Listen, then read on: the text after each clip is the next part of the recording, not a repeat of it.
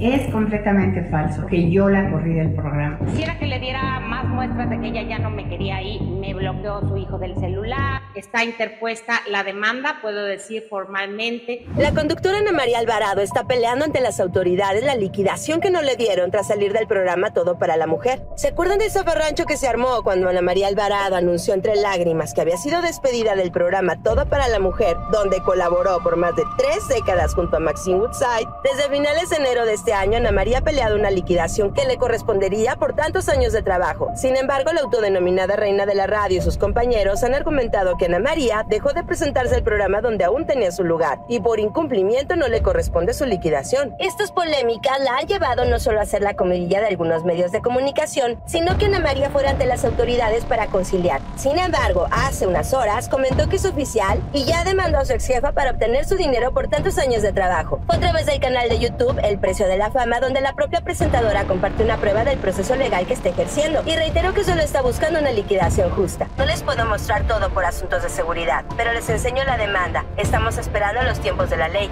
Ana María aclaró que ha tratado de ser seria con la situación y negó que el escándalo mediático que se generó haya sido solo un pretexto para intimidar a Maxine. Hechos son palabras, no crean que bla bla bla y solo era para molestar o para hacerme notar. Desde un principio yo les dije que iba a defender mis derechos. Agregó que próximamente serán citados y prometió mantenernos informados sobre las actualizaciones que se vayan suscitando en el proceso. Yo desde el uno le he ido platicando de frente con tranquilidad y como ustedes ven he cumplido cabalmente palabra a palabra. Ana María comentó también que está tranquila con esta decisión que tomó y a la que tantas vueltas le dieron pues quería hacer lo correcto. Estoy tranquila y estaré satisfecha con el resultado que designó un juez. Simplemente en estas situaciones dos personas no se pusieron de acuerdo. ¿Qué dice una tercera persona que es un juez? Y la justicia es darle a cada quien lo que le corresponde. La cifra que estaría peleando Ana María será un aproximado de 25.168.600 pesos, lo que representaría un duro golpe al bolsillo de Maxine, considerando que antes de la reestructuración del programa, Ana María Alvarado ganaba 61 mil pesos mensuales. ¿Y tú qué opinas? ¿Crees que Ana María Alvarado consigue su liquidación justa?